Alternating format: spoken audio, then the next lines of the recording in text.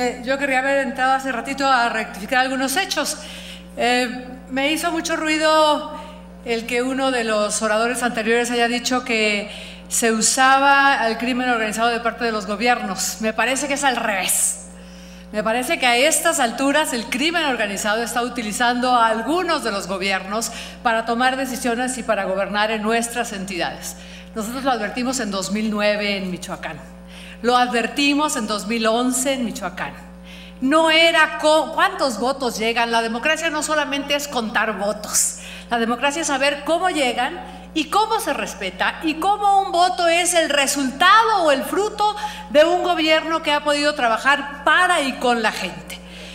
Ah, así que yo lamento mucho 2011, 2009 y 2012 y hoy 2013 que aquí unas y otras voces reconozcan la participación del crimen organizado en nuestros procesos políticos, en nuestros procesos democráticos y que no se reconozca que intervienen también en otra parte de la vida de México y que no se nos diga aquí qué sistema y qué estrategia vamos a trabajar todos para contener al crimen organizado, para transformar las instituciones y para seguir buscando la libertad de las y de los ciudadanos y especialmente de los niños. Otro punto que yo querría aclarar. ¿Qué es lo que pasó en Aguascalientes? Y lo voy a usar como, como ejemplo, porque una golondrina no hace verano, pero esto se repitió por todos lados. Se dijo que un candidato de Aguascalientes estaba financiado por la familia michoacana. Se invitó con bombo y platillo a la prensa a una casa que se suponía que estaba asegurada y afuera de la cual había propaganda de candidatos de la alianza con el PAN. Entró la prensa y estaba el briista explicando de qué se trataba cuando un reportero tumbó un vidrio y novedad. Lo que había adentro era propaganda del PRI. Así que se cayó el teatrito, se aseguró para que esas pruebas posibles fueran revisadas, se selló y después el propio procurador del Estado, empleado del gobernador Lozano, fue, quitó los sellos, se llevó las supuestas pruebas y se acabó el asunto.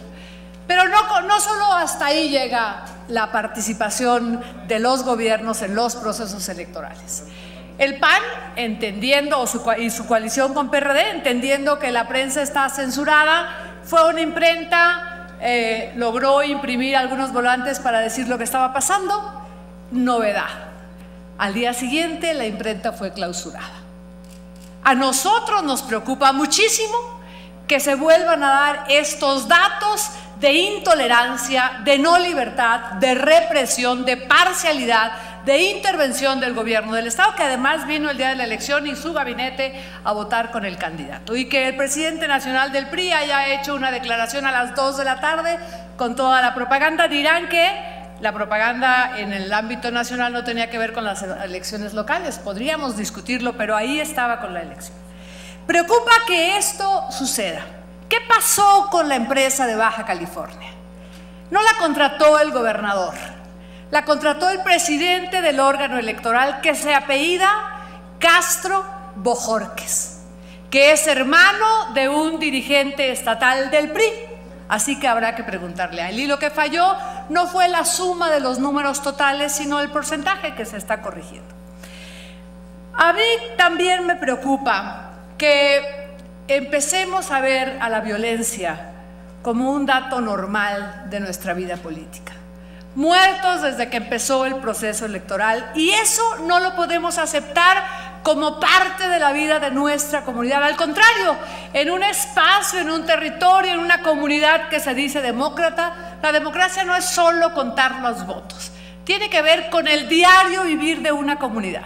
Y aceptar que van 3, 5, 9, 18 muertos, atentados, quemar los bienes de, un, de una comunidad, perseguir, atosigar, eso no puede ser nuestra normalidad. Nuestra vida democrática tiene que ser cada día de más respeto, de más libertad, de más igualdad, de más libertad. Y yo quisiera finalmente poner sobre la mesa qué es esto de pactar la democracia para transformar a México. No podemos, y eso debemos cuestionarlo entre todos, pactar solo para lo que al ganador le parezca bien. Y desechar lo demás. Porque transformar a México no tiene solamente que ver con lo que se ha llamado las grandes reformas en materia política, energética, financiera y dejar para después la transparencia, la rendición de cuentas.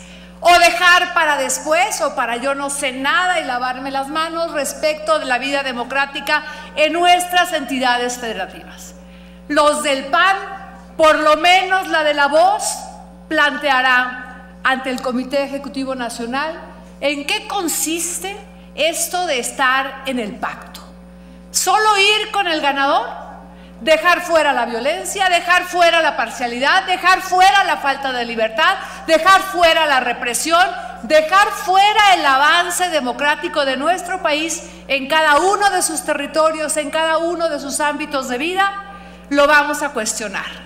Porque la elección del 7 de julio, que aún no termina, que tiene instituciones hoy contando votos, que tiene instituciones hoy necesariamente obligadas a procesar las denuncias de violencia, que son parte de la vida de nuestro país, tienen que ir acompañados del respeto a la libertad, a la imparcialidad, a la justicia, a la no represión, a la tolerancia.